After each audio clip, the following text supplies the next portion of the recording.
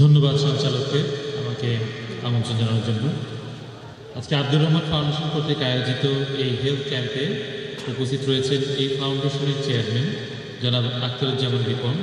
উপস্থিত রয়েছেন বিশেষ অতিথি হিসেবে কুমিল্লা জেলায় সমাজসেবা অধিদপ্তরের উপপরিচালক জনাব জেনুল মিজানুর রহমান। উপস্থিত রয়েছে কুমিল্লা সদর দক্ষিণ উপজেলার এমওডিসি ডক্টর ফিরোজ কবির এবং আমার সামনে উপস্থিত রয়েছেন কুমিল্লা জেলার বরেণ্য চিকিৎসকবৃন্দ যার মধ্যে আমি উল্লেখযোগ্য করেই বলব যে আমাদের সকলের শ্রদ্ধা আমাদের মুরব্বী ডক্টর আব্দুল সালাম, উপস্থিত রয়েছেন ডক্টর মৃণাল কান্তি ঢালিক স্যার এবং উপস্থিত রয়েছেন ডক্টর নাজমুল নাজমুল হাসান আকুন্দ এবং অন্যান্য চিকিৎসকবৃন্দ উপস্থিত রয়েছেন উপস্থিত রয়েছেন এখানে সাংবাদিক ভাই বোনেরা ভাইয়েরা এবং উপস্থিত রয়েছেন আমাদের এই অত্র এলাকার মুরব্বীগণ এবং মা বোনেরা আছেন অনেক সেবা গ্রহীতারা এখানে এসেছেন।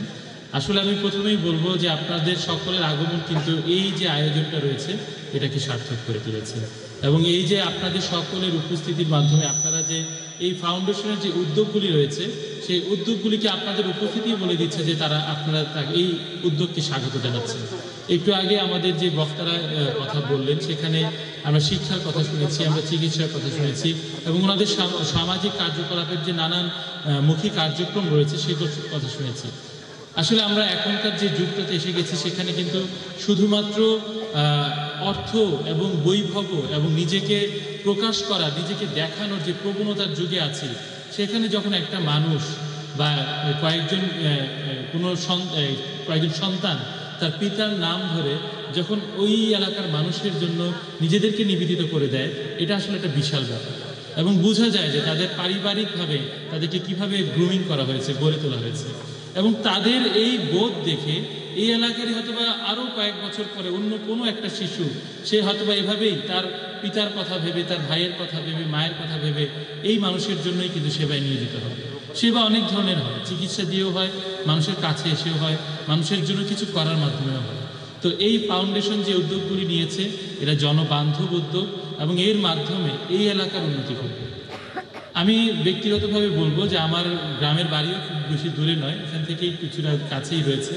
তো আমারও মনে হয় যে আমার বাড়ির মানুষজনও যখন এরকম উদ্যোগের কথা শুনবে, তারাও কিন্তু এটাকে স্বাগত জানাবে।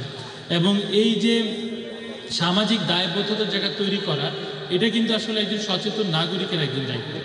আজকে আমরা বাংলাদেশে যে যুগে রয়েছি, সেখানে আমরা উন্নয়ন দেখছি, ডেভেলপমেন্ট দেখছি, আমরা দেখছি মাননীয় প্রধানমন্ত্রীর যুগান্তকারী কিছু সিদ্ধান্ত এবং প্রান্তিক পর্যায়ে তার বাস্তবায়ন। এবং সেই জায়গায় দেখছি যে আমাদের একেবারে নৃগোষ্ঠীর সকল পর্যায়ের উন্নতি।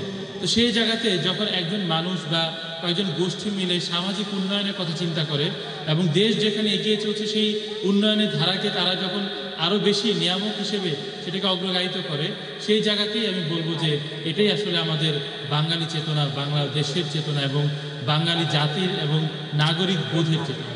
তো সেই জায়গা থেকে আমি আশা করব যে বঙ্গবন্ধু সোনার বাংলা গড়ে তোলার জন্য প্রতিটা নাগরিক তার নিজস্ব জায়গা থেকে যাতে ভূমিকা পালন করে এবং বাংলাদেশকে এটি সোনার বাংলাদেশ গড়ে তোলার যে প্রত্যয়ে এগিয়ে চলছে এই দেশ, সেই প্রত্যয়ের সাথে যাতে নিজেদেরকে সমর্পণ করে এবং দেশ এগিয়ে চলে।